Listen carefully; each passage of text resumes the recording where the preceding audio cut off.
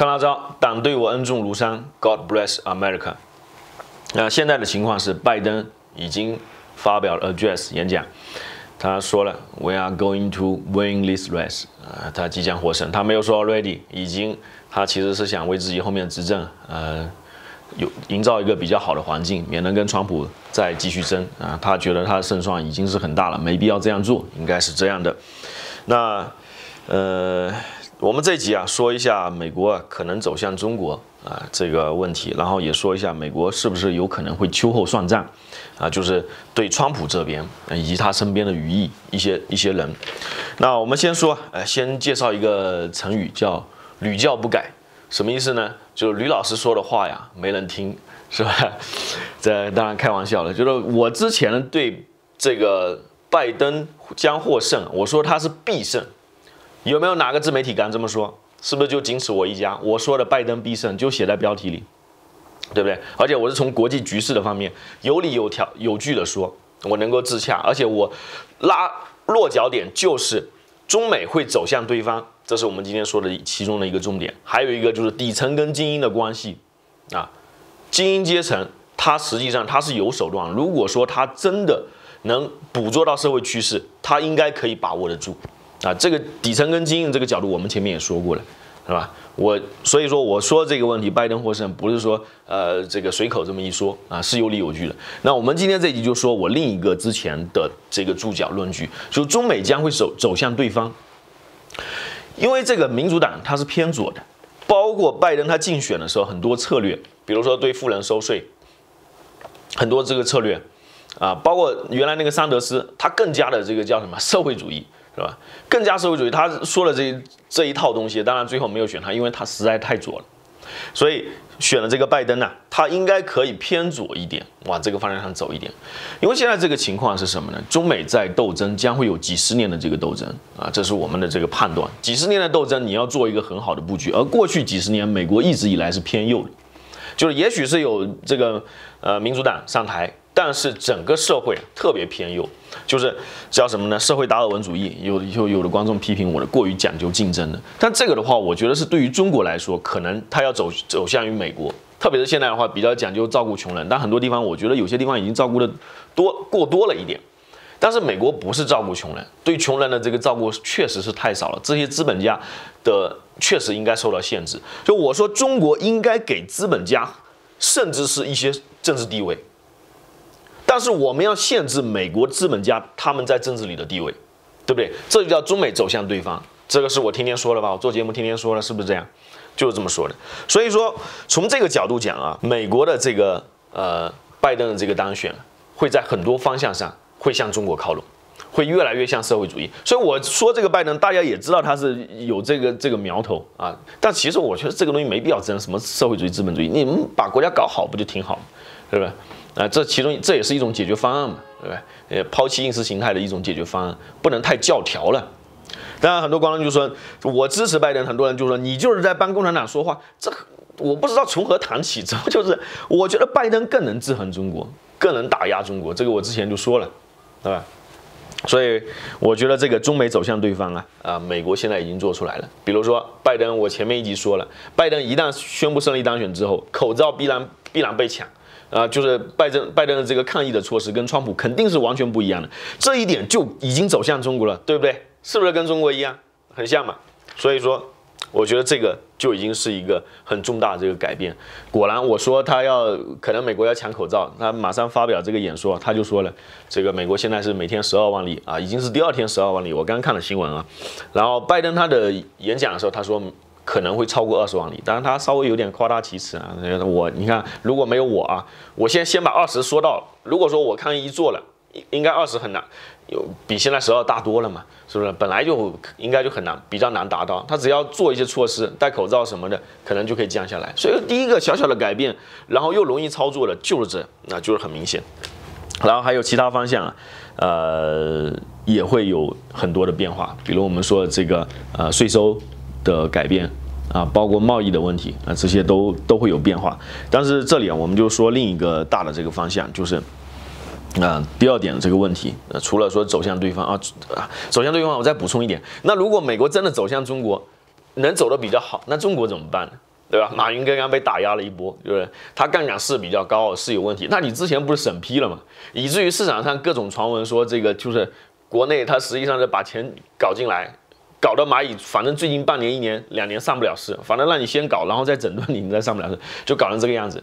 如果排除这种说法的话，那你之前为什么批准了？批准了之后你又这样做啊？国内的资本家就很受打压啊，就就有一些人就会比较有怨气。啊，特别是资本家发育程度比较好的浙江啊、广东地区，那他就会觉得心里比较压抑，对不对？那我们美国将要限制资本家，将要限制有钱人的时候，中国是不是应该给有钱人、给资本家以更多的这个权利呢？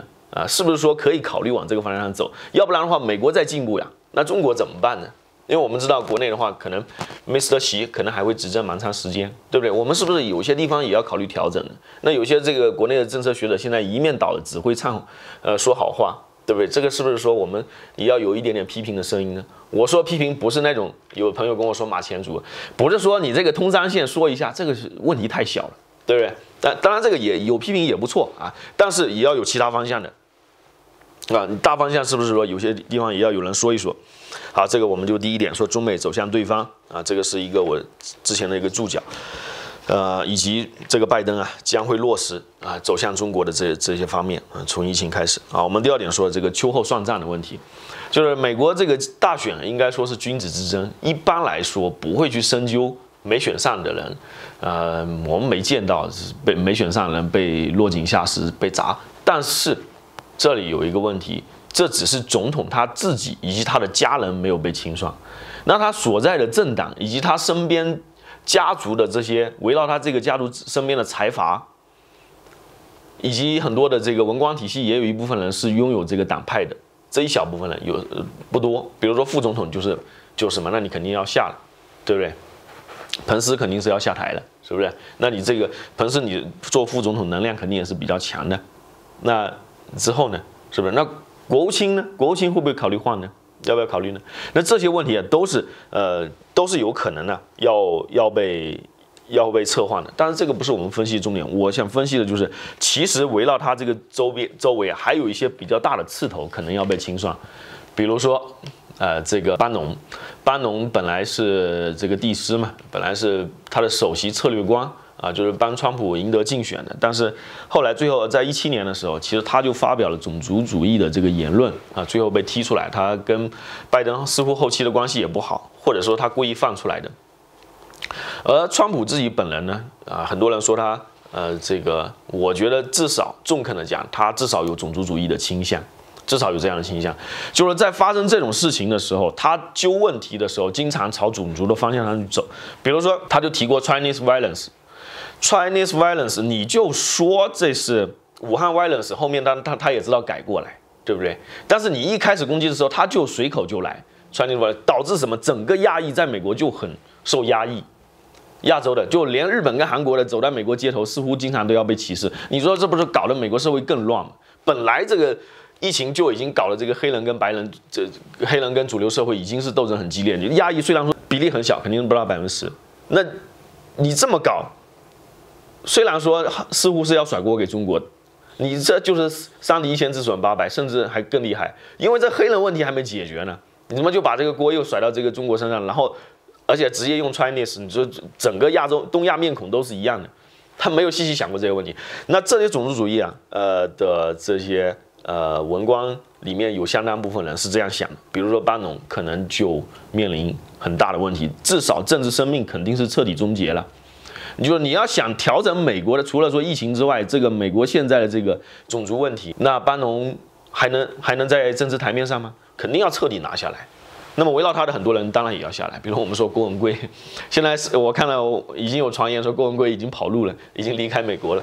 当然这个传闻我们也不去理他，郭文贵也是昨日黄花了，那也是也是过时了啊。当然他也比较呃衰，一直很努力啊，一直很努力，一直想办一直在想办法，但是。呃，这个走到哪这几年都不是特别顺啊。虽然说中间搞出水花，但是没有那么顺利。就是班农啊，包括班农身边的人，包括这一系列的这些种族主义者啊，冲着为美国社会好的角度来看，他应该是要被清算的啊。这个可能是很难避免，这是其中一个方向啊。就是我们说了，加成啊一部分的这文官体系，还有就是这个种族主义者，这些都会被清算。那说到这些清算啊，我们再想一下，川普在竞选的时候，谁最出力，谁最卖力？就是他身边的家人啊，他的老婆、他的女儿啊，都特别的卖力，他的女婿都特别卖力。感觉这个共和党其他的人似乎都声音不大啊，这个扭扭捏捏的，甚至有一些人还倒戈了。这为什么？谁受益大嘛？对不对？这是看受益情况的。那当然，身边的自己家人受益大。所以这个洗牌是很快的。一旦川普下来，好，我是不追究你，比如说以前是不是有偷税漏税，或者说这个避税是不是说做的过了一点，可能就不会清算那么多。但是你川普集团以后想要更好的发展啊，估计难度会比他上台之前还要更大。因为你就不能做的太太过了，然后你的很多的语义，像原来刚刚说的，像班农，肯定不止班农他一个人，很多的也就渐渐离他而去，甚至现在说，就他现在可能败选之后，可能性极大之后，他身边的团队很多人就慢慢的就离心了，就散了，那这些都是都是一种洗牌啊，这都是一种洗牌，但这种洗牌我觉得是蛮好的，就是本身是一股它的强大能量迅速集结起来，然后把事情做完。把你承诺的事情，能做多少做多少，是吧？实在做不出来，没办法，不好意思，那么呃就被别人干干下来了，对吧？干下来又重新聚一波，那这样利益洗牌是很快的，因为我们说利益一定要有洗牌，一定要有洗牌。为什么？这个世界最怕的就是好日子过久，好日子过久，为什么？我经常我跟美国朋友聊天的时候，我就说有些地方啊，就是美国好日子过久，啊，就好日子过久，一个国家公司啊，躺在床上就想挣大钱，这个公司什么都不付出，啊。都就就想挣钱，这个国家也是这样，这是不可能不现实。所以洗牌有压力，大家才会努力的工作，对不对？一定要有压力才努力的工作。所以说是这样。但这我们反过来说一下中国的情况，这就是说，美国虽然说大选的时候乱归乱啊，现在非常的乱，但是仍然可以看到它的优势，就是洗牌的优势，四年一次嘛，对不对？四年一次就是剧烈的这种洗牌，呃，激烈的这种斗争，然后一部分人，你看川普家族，我们说了。呃，是不会，你是不会被投进监狱，应该还是君子之争。但是你的，你的家族就企业起来就不容易。但我们反观中国呢？中国我们之前说，我们说十年一次，对不对？其实是五年一选，但是一般为了这个，因为国家发展中国家需要国策比较稳定，十年一换啊，基本上我们过去是差不多十年一换，将是十年、十二年啊，军委是时间长一点。那胡是十年，可能还如果算上军委，可能还要再短一点，真正实权的时间，啊，甚至有有有说法是什么架空啊这些，但是十年吧。现在的情况啊，是有好的地方的。为什么？现在中美在斗争，必须要有一个稳得住情况的，不能说过度的这个斗争啊，因为过度的斗争啊，你看，如果说我们说有，比如说孙政才或者说胡春华之前入常了啊，入常入常了，这这个时候的话。他的太子党跟这个在位的以前的父子关系都会搞不好，为什么？你自己想搞好，你太子不想搞，你太子身边的人想不想搞，对吧？你他都巴不得自己早点做大臣呢，对不对？所以他会怂恿太子，就是美国贸易战一打，那我们到底是妥协还是还是跟他硬扛，跟他刚一下？那到时候不管你你当政的人选什么政策，太子党他一定。跟你选相反的，你信不信？一定选相反的，哪怕是一个派系，哪怕是有血血亲关系，一定是选相反，那声音就不一致，就拧不到一块，拧不到一股绳去了。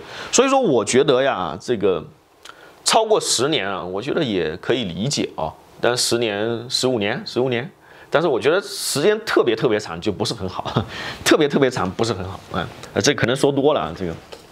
但是我说的就是说什么呢？利益洗牌要有，但是好在一个什么呢？中国还是有利益洗牌的。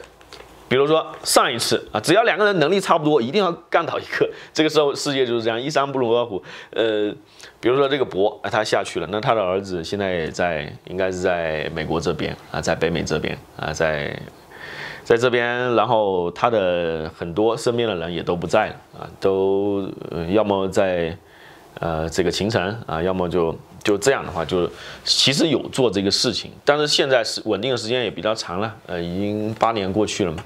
但是就现在的情况是很复杂的，也不能说什么情况是好，什么情况是不好，因为中美关系确实特别需要一个稳定的政治环境。这个时候如果政治环境不稳定，是很危险的，很容易被美国逐个击破。因为我们看到美国为什么对中国施压没有成功？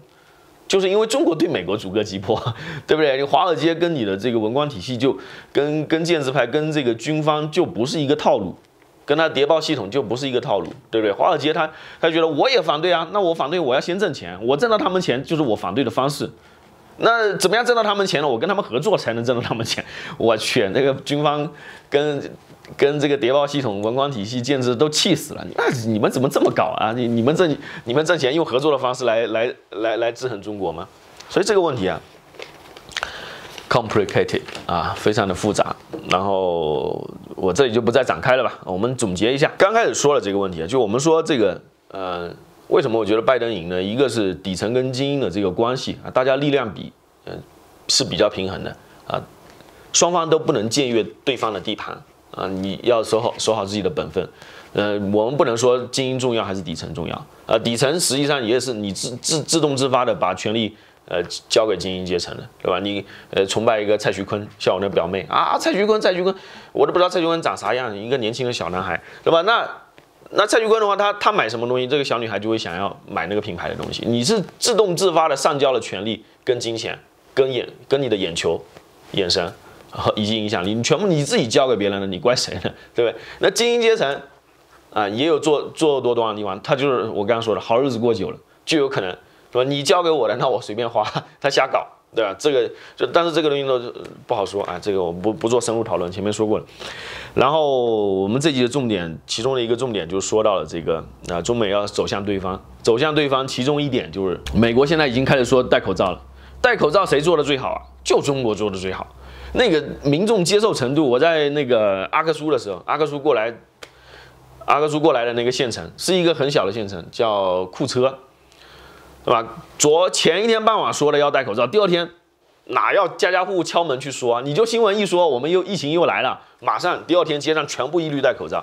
美国就即将要迎来这个样子啊！从戴口罩到抗疫，到美国的福利政策，到美国很多的国策都要走向中国，甚至很多的这个贸易地方还要重新反弹，要跟中国合作啊！这这是第一个。然后第二个我们要这个补充的这个就是。呃，美国的这个也也会有大幅的洗牌，比如种族主义者，以及川普他们的身边一些比较远的这些家臣树倒猢狲散啊，这个是比较好的啊利益洗牌。那么这种洗牌方式呢，是有利于社会进化跟呃重新分配社会资源的。